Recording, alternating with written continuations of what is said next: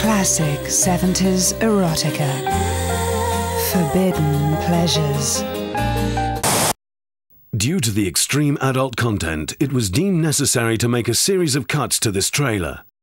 We apologize to any disappointed viewers, but we're sure that you will understand why such dramatic action was taken.